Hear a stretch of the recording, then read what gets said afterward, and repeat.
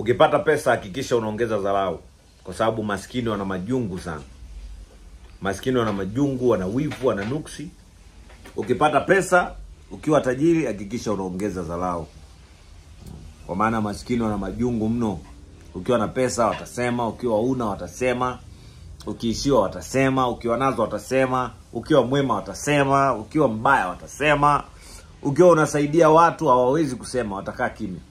Lakini ukimesa kidogo utakuta kelele zao pang'ang'a nyingi, mbwa koko wanapenda wanatamani kuona kama umekwama, wanatamani kusikia habari mbaya kuhusu wewe kuliko habari nzuri. Lakini kuna sisi ambao ukituongelea habari mbaya ni umetupeleka mjini, ukituzungumzia habari njema umetupeleka mjini, usipotuzungumzia pia umetupeleka mjini. Yani hauna uwezi ukatukwepa.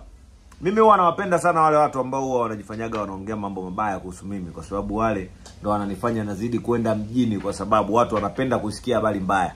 Kwa hiyo wewe ukiposti habari mbaya kuhusu mimi, sio kama unanikomoa au unafanya kuniangusha, no, unazidi kunipeleka. Mm, nakupa kodi, na ninapenda sana kuona habari mbaya kuliko nzuri, na ndio maana huwa sipendagi kupigishana kelele na watu wanaozungumzia kuhusu mimi kwa chochote, na waacha waongee, kwa sababu ndo muda wa wao kunipeleka mjini.